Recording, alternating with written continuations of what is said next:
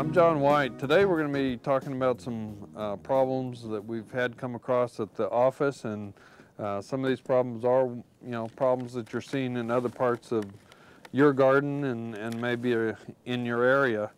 Here's one that came in and uh, this was a person that was bringing in a sample from uh, some stuff inside his home and this is a baseboard and, and some actual uh, insulation material that came out of a wall in his uh, garage and these are signs of termites being there. So these are the mud casings from a, a termite infestation. Uh, as far as the wood, we can't see where they've actually done much as far as entering any of the wood, but uh, these are a sample that uh, you may have some insight or some termite activity and you want to uh, probably follow up on that as far as maybe tearing a little bit more of the wall out and making sure that this is not a serious problem.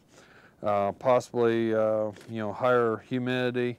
Uh, we did have some days of rain here where uh, maybe the moisture levels were higher and the termites were able to keep their mud casing going, but uh, doesn't look like they've really had any, any kind of entry site. They haven't eaten the paper off, so maybe it dried up fairly quick and they uh, retreated back out of the area. But if you are seeing something like that in the wall, if you're actually finding some insects that are down at the uh, foot of a wall that are winged, uh, those could be termites. So you want to make sure you get those samples into your local county extension office and uh, they can get those identified or have them sent in to be identified because if you do have a termite problem, you do want to make sure that you get that problem taken care of. Uh, another question we had is uh, with privet or ligustrum. Here's a, a sample from a, a, good piece off of the plant and this uh, plant adjoining it has kind of a yellowed color and you see how some of the leaves have a, a green vein to them and then some of the plant just had kind of almost a dieback to it and a lot of spotting on the on the leaf on it so uh, you know, these are obviously not a healthy plant. This one is. And these are suffering from a micronutrient deficiency. This is called chlorosis.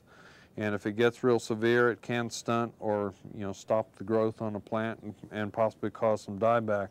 So uh, some of the things that can cause an iron deficiency or chlorosis can be the lack of iron, can be the lack of zinc, can be the lack of manganese. These are all micronutrients that are lacking in our alkaline soils here and if this plant is near a, an area that has a lot of concrete or mortar uh, that can also make your soil more alkaline so that can cause a problem.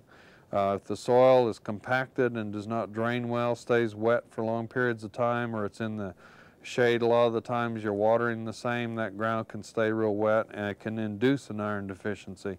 Um, also poor planting, if this plant was planted too deep back when it was first planted, uh, these problems can show up later in the life of the plant. So there can be several problems. Uh, talking with the owner, this plant's in the sun, this one's in the shade, so uh, that can that can make a difference there. So, uh, but this one is not doing very well, so we want to um, you know look at some some treatments there, maybe adding some micronutrient spray to see if we can't green that back up.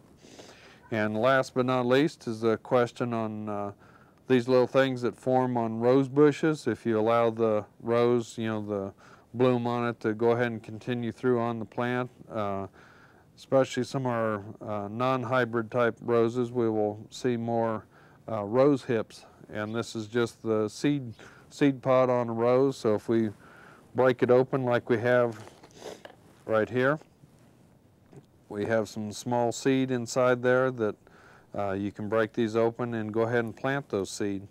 Uh, some of the herbalists, this uh, is a good source of vitamin C, so rose hips can be uh, ground and used differently. You want to check, um, you know, before you do that, check with uh, how that's to be done. But these are um, little seed capsules from a rose, so uh, these can be planted. Remember that these are seedlings, so you can have a lot of variation in them, and they may not stay true to variety. So uh, we want to be careful with those. So uh, if you do want to plant the rose seed, and simply just put them in a pot uh, somewhere about half an inch deep. Use a good uh, soilless potting mix, uh, put them in there, cover them over, uh, pat them down a little bit, put water in them, and um, you know, grow them, start them off inside because outside right now it's a little too cold. they'll come up and you'll have a, a seedling rose that you can either maybe bud a, a um, you know, known variety that you want on it, or you can grow it out just to see what you got as a curiosity. So uh, those are kind of our question and answers for today.